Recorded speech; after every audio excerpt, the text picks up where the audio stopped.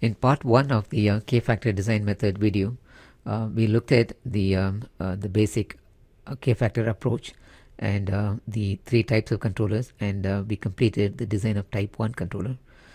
in this part two, we will take up the design of Type 2 and the Type 3, which are the two more widely used um, um, controller types in in DC-DC converter applications. So here is the um, transfer function of type 2 controller. It has the uh, KC over S term as in type 1. Uh, in addition, it has uh, one 0 at omega z and a pole at omega p. The um, Bode plot for just the type 2 controller alone is uh, shown here.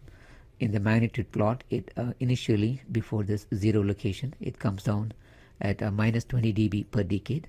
The 0 makes it, um, adds another plus 20 dB per decade slope, so make it um, flat 0 dB slope um, and um, the pole eventually adds another minus 20 dB and uh, at a high frequency the magnitude comes down at a slope of minus 20 dB per decade. If you look at the phase plot uh, at low frequencies well below omega z the phase angle is um, minus 90 degrees and um, the zero tries to bring it up uh, towards um, um, tries to add a 90 degrees to tries to bring it towards 0 degrees but before it can actually reach 0 the effect of the follow-on pole uh, also comes into play and the uh, phase again drops back and at high frequencies it is back to minus 90 degrees. So the entire concept of uh, K-factor method is to make sure that uh, so we know that this pole zero pair provides um, a phase boost so the K-factor method concept is to make sure that the maximum boost you can see it keeps increasing reaches the peak at this point. So we want to make sure that this maximum boost occurs exactly at the crossover frequency so that we get the uh, we can achieve the phase margin uh, easily.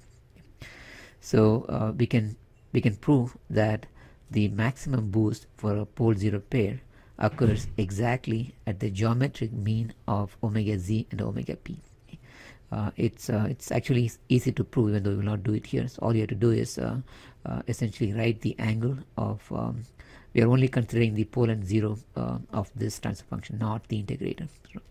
So, write the angle of the uh, numerator. So that would be arctan of um, um, j omega over um, arctan of omega over omega z right? and um, minus arctan of omega over omega p that would be the angle um, contributed by this pole zero pair. Then um, uh, take its derivative with respect to omega equate that to 0 to find the maximum point. Then we can show that the uh, maximum occurs exactly at the geometric mean. So what do we mean by geometric mean? Okay? means that uh, omega c um, this geometric mean um, uh, is equal to square root of the product omega z times omega p. Uh, so once um, we agree upon that then we can choose the omega z and omega p as, uh, as shown here. So omega z, the zero location, would be the crossover frequency divided by this k. So this is the k factor which gives a name to this method, the k factor method. And omega p, the pole location, would be at k times omega c. So again, if you multiply both sides, so this uh, comes out to be omega z times omega p. And on this side, the k's cancel and you have omega c squared. So once again, clearly you can see that omega c is exactly at the uh, geometric mean of omega z times uh, omega p. Then the question is uh, how do you select this uh, value of k? Okay. so I show this uh, phase plot as an uh, illustrative example. So what is shown here is actually two pairs of pole zero locations. The first one corresponding to this green um, plot um, green plot here. So that corresponds to a pole location, um, sorry, a zero location at 10 hertz. Okay, this is omega z uh, 1, let's say, and uh, 10,000 is the omega p 1, the pole location of the first pair. Okay. And uh, the second one corresponding to the uh, the red plot here, um, that also has a, a, a, zero pole pair, but the zero is at 100 hertz. Okay, that's uh, omega z 2, let's say, and the pole is at uh, 1000 hertz. Okay. So notice that in both cases, um, the um, geometric mean is exactly this value 316.35 um, hertz. Okay, so so this is um, square root of um, 10 times um, 10,000 okay and uh, so this one is square root of um, 100 times 1000 so they are both same and equal to 316.35 okay.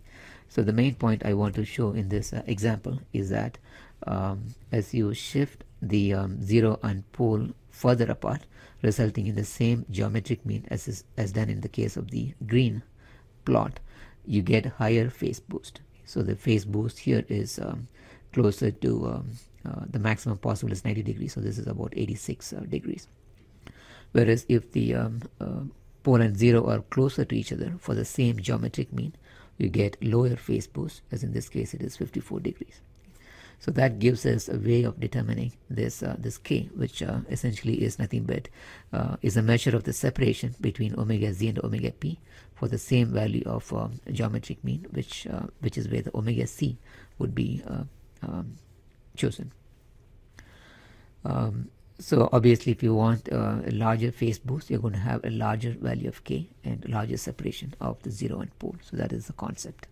Okay so then uh, can we actually come up with uh, with an equation that relates the um, um the required k factor value to the phase boost um, uh, that we are looking for? Okay so it is it is easy to do.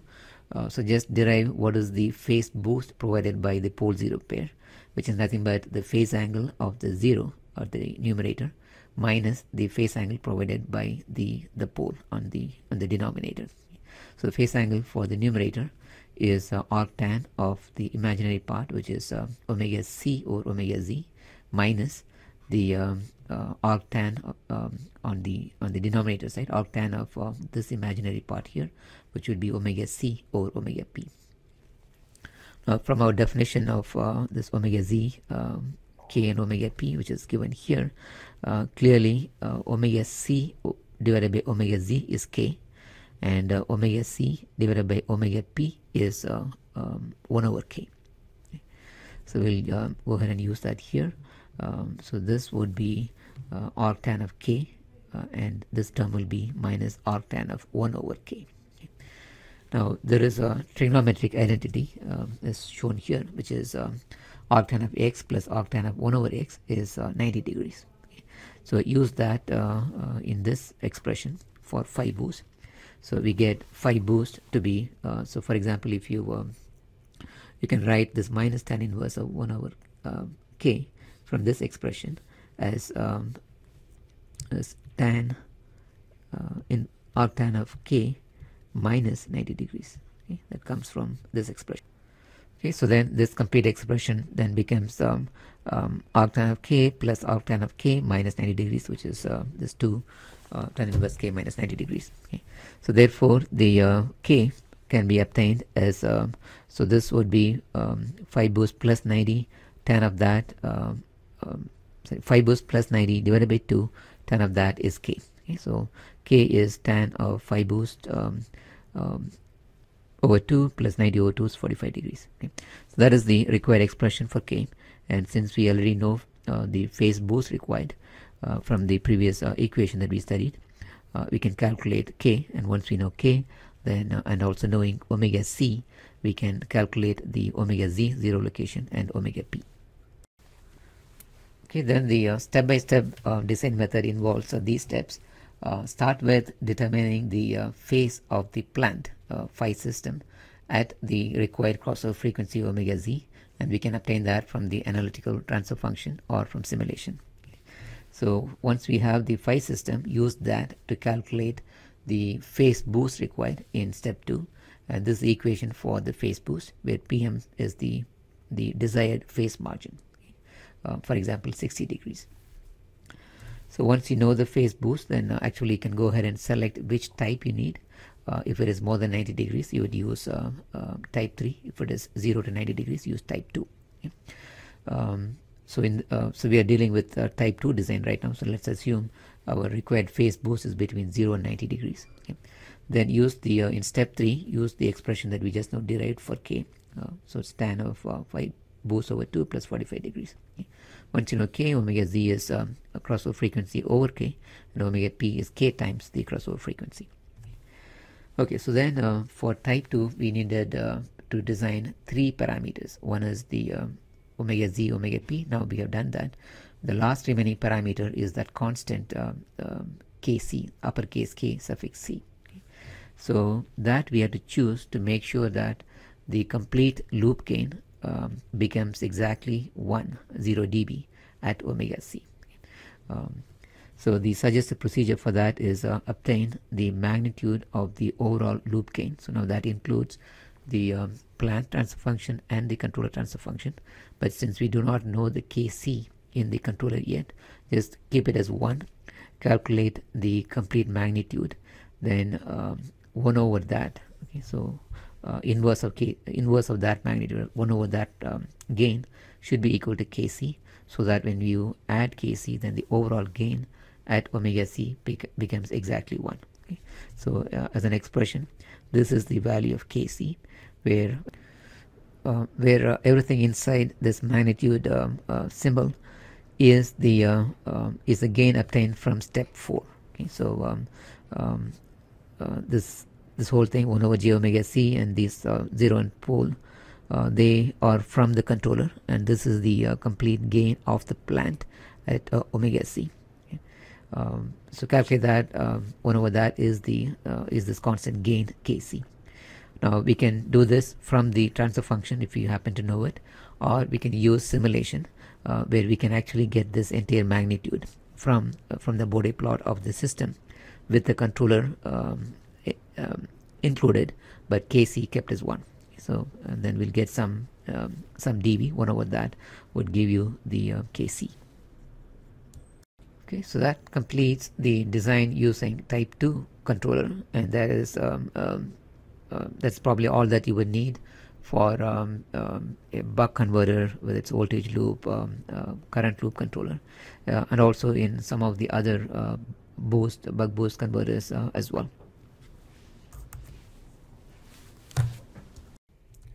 Okay so for the type 3 controller uh, here is the transfer function now we have uh, two zeros at the same location uh, omega z and two poles at uh, same but different from the zero locations omega p. Okay. so the look at the magnitude Bode plot. So initial slope is um, minus 20 dB per decade as in all the other controllers but the presence of two zeros um, add plus 40 dB so it actually goes up at plus 20 dB per decade and then uh, eventually the two poles add another minus 40 dB so that you're coming down at minus 20 dB uh, at high frequencies. Okay. uh, more importantly the uh, phase plot um, starts with um, um, minus 90 degrees corresponding to the integrator. And uh, the two zeros tend to take it up towards plus 90 degrees um, an addition of 180 degrees. But before it can do so, uh, do so depending on the location of the pole um, the pole begins to have influence and uh, brings it down uh, by a total of 180 degrees for the two poles so that um, uh, eventually at very high frequencies we are left with uh, the same minus 90 the two poles and two zeros their phase uh, contributions cancel each other. Okay. So as uh, in the case of um, the type 2 controller here also um, uh, it says it's very similar to type 2 just that instead of having one zero pole pair we have two of them but at the same location. So if the type 2 produced a certain amount of phase boost this is going to produce the same uh, it's going to produce twice the uh, phase boost. Um, and uh, uh, once again at the geometric mean because that is where the maximum phase boost would, would occur. So the uh, descent procedure is uh, almost identical. We would uh, uh define our omega z as uh, the crossover omega c over k and omega p is uh, k times omega c so that we are guaranteed the um, phase boost occurs exactly at omega c which is placed at the geometric mean. So this is the equation that we derived for the type 2 for the phase boost created by that single pole zero pair um, so that was 2 arctan of k minus 90 degrees. And uh, as I mentioned, for type 3 where we have two pole 0 pairs, um, the expected phase boost is exactly twice that of what we got in type 2.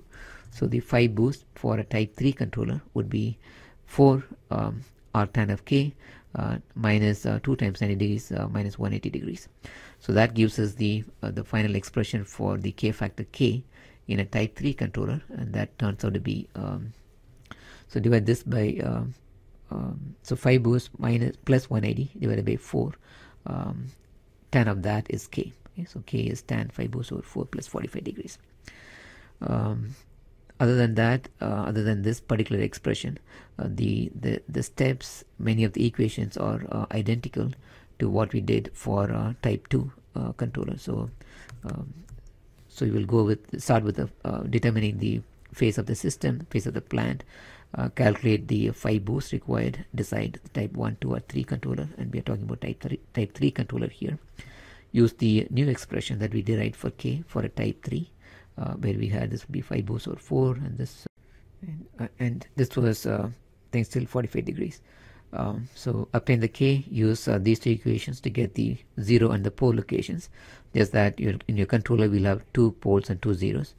Um, and the final remaining parameter is um, the constant uh, uppercase kc and the procedure is exactly the same. You choose kc so that the overall loop gain exactly at omega c is equal to 1 so the procedure is the same uh, just that the this will be square this will be square and so on